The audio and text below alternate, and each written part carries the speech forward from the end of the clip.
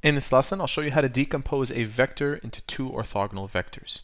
Keep in mind that we've done a video on the decomposition of vectors in the past, though this one goes into a little more detail. The question reads, let v, given these two components, and w equal to these two components.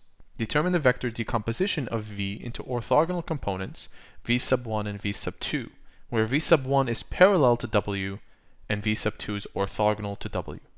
Essentially what they're asking here is to find the vector projection of v onto w. Let's begin by graphing the vectors. We'll use an xy plane and we'll start with vector v. Vector v has the components 1 and 2. That lies in the first quadrant. 1 and 2 should be right here. Vector w has the components 4 and 1, which also is found in the first quadrant. 4 and 1 is over here.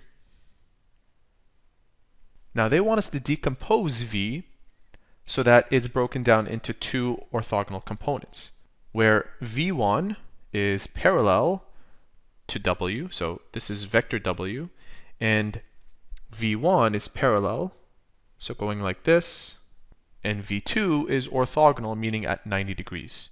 So another one going like that. And this one up here is v2. To find information about v1, we use the formula, the projection of v onto w is equal to v times w, the dot product, and underneath is the magnitude of w, raised to the power of 2, multiplied to the vector w again. Let me fill this in. I have the dot product of 1 and 2 and 4 and 1. That's at the top. At the bottom, we need the magnitude of w.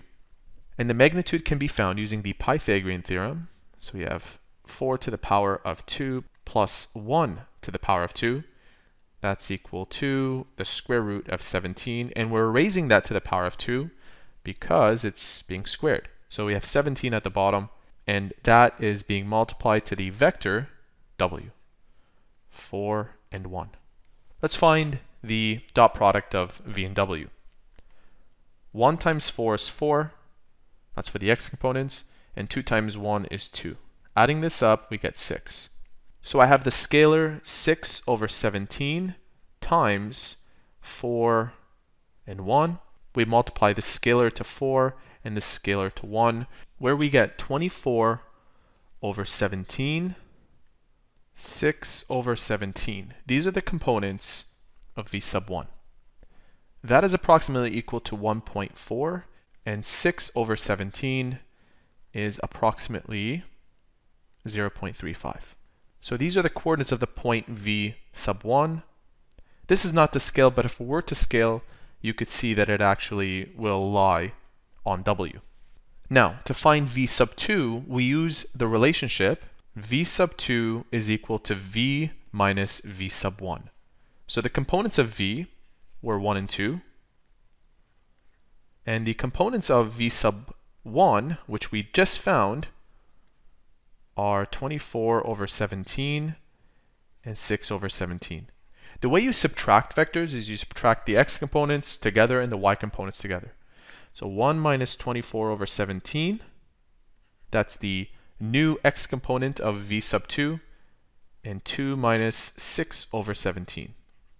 Let's go ahead and do that. So 1 minus, I'll use my calculator for the subtraction, negative 7 over 17. That's the new x component. And for this, 2 minus 6 over 17. It's always a good idea to put the fractions in parentheses. 28 over 17. These are the x and y components of the vector v sub 2. And I forgot to put these arrows up here, which I should have. And so there you have it. That is how to decompose a vector into two orthogonal vectors.